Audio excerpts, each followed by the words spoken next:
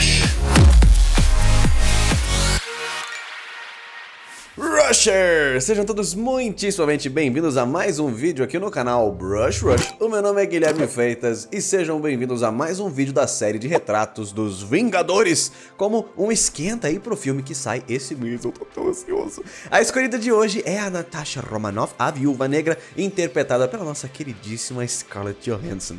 E se você quer aprender a pintar digitalmente, já vou aqui fazendo um jabá no início, o meu curso está com 15% de desconto para você que é aqui, que segue o canal, que está sempre acompanhando os vídeos, link na descrição e também se você está querendo os meus brushes, esses mesmos que eu uso aqui neste vídeo, link na descrição também, dá uma olhadinha lá, tem um monte de coisa útil para você, inclusive redes sociais e outras paradinhas legais para você me seguir. Volto a ressaltar aqui que nessa série existe uma tentativa de uma leve caricatura, né? Tem uma, uma né? um esforço ali para criar uma distorção e um exagero. Ainda assim, eu quero capturar o likeness do ator e também utilizar isso como um treino de pintura, né? Tem muita fotografia legal, que tem muita informação maneira sobre luz e sombra no rosto humano. Essas são todas coisas que eu estou fazendo aqui também para treinar. E nesse aqui eu tive muita dificuldade. E isso é um bom sinal, né, galera? É um sinal de que eu saí da zona de conforto, que eu enfrentei e superei uma parada complicada. Em alguns momentos durante essa arte me bateu aquele momento de epa, não tá funcionando, não tá ficando legal, não tá parecendo com a atriz, lascou.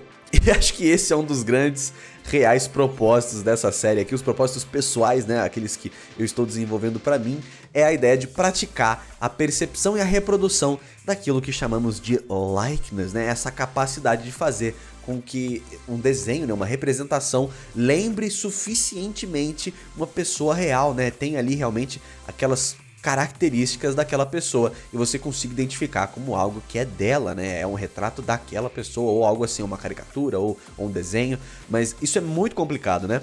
Às vezes, né, isso é muito mais fácil quando a pessoa que você está caracterizando ali é bem diferente, tem um cabelo maluco ou alguma coisa assim.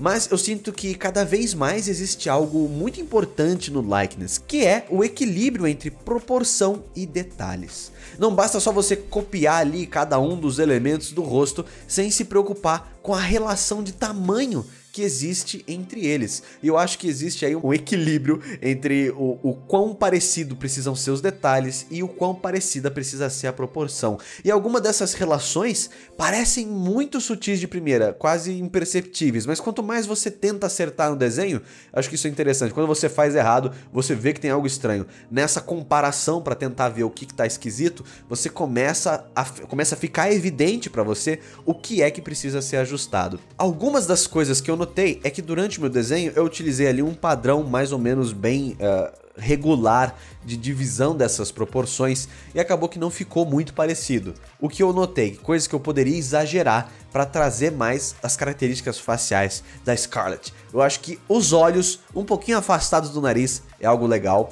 Além disso, o formato né, do, da ponta do nariz dela é muito particular. Ele não é pequenininho, delicado, ele é grandinho.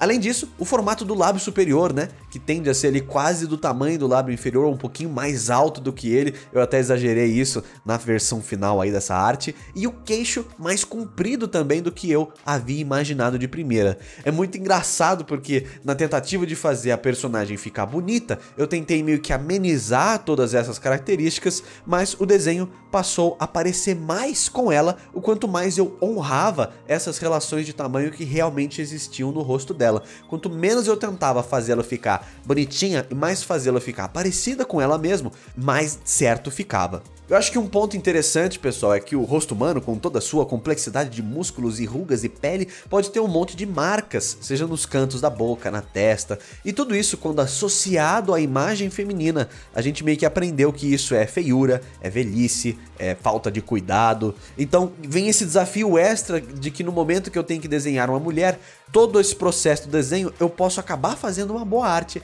mas eu posso fazê-la feia aos olhos dos outros. Então eu tomo a liberdade aqui de não registrar nesse desenho alguns desses detalhes faciais. Essa é uma preocupação que eu não tive em nenhum momento quando eu estava fazendo o Thor. E eu realmente comecei a reparar nisso. A nossa exigência de ausência de rugas, olheiras e marcas de expressão no rosto feminino é muito maior do que no rosto masculino. Pessoas de idade parecida o homem pode ter um monte de ruga que todo mundo vai achar ele gato ainda e a moça não pode ter nem um terço daquilo. Essa percepção parece que já tá incrustada na gente, né? A ideia de que a mulher natural parece cansada, velha, doente, mas que quando maquiada ela é jovem, saudável, bonita. E eu creio que por causa dessa percepção já cristalizada que a gente tem, a gente precisa dessa atenção extra com a representação de moças, né? Essa, essa, essa determinação de fazê-la bonita tem que ser dobrada. Ainda assim, eu não ficaria surpreso se você achar a minha representação exagerada nas rugas, ou que ela não ficou, ficou parecendo velha, ou algo do gênero, né? Você pode até achar que, é, Guilherme, você tem ali um bom controle do, do pincel, blá blá blá blá blá blá, mas a Scarlett ficou feia no seu desenho. Eu creio que esse é um dos grandes motivos pelo qual eu parei de desenhar mulheres quando eu era mais novo.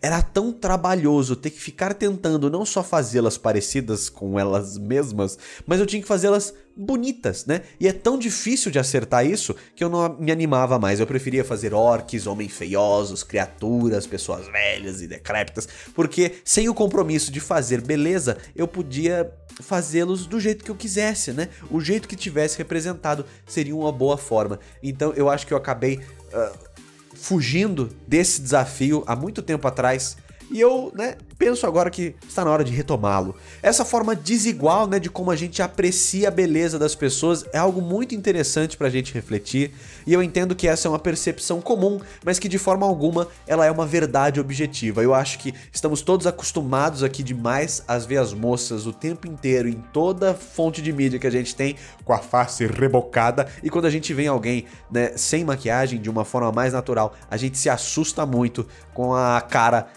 parecida com a do homem, né? Que tá toda bugada. Eu, eu acho que eu tenho olheiras profundas e não sei o que quando eu me olho no espelho, mas eu vejo que ninguém liga, ninguém liga para essas coisas na minha cara.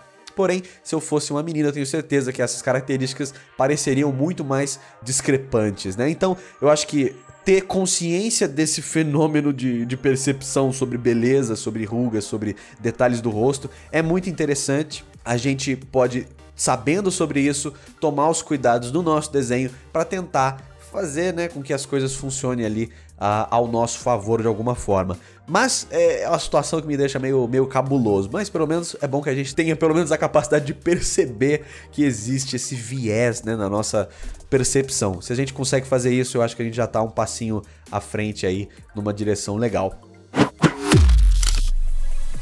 E essa é a nossa Scarlett Johansson aqui, como Viúva Negra. Eu espero que vocês tenham curtido, pessoal. Eu tentei aí de novo. Essa é uma série muito assim de exploração pessoal, de ver o que, que eu consigo perceber fazendo likeness. Tem muitas coisas e reflexões legais que eu tô tirando de cada um desses desenhos. Espero que vocês também estejam curtindo essa viagem maluca aqui. A gente se vê no próximo vídeo. Muito obrigado, pessoal. Valeu e falou!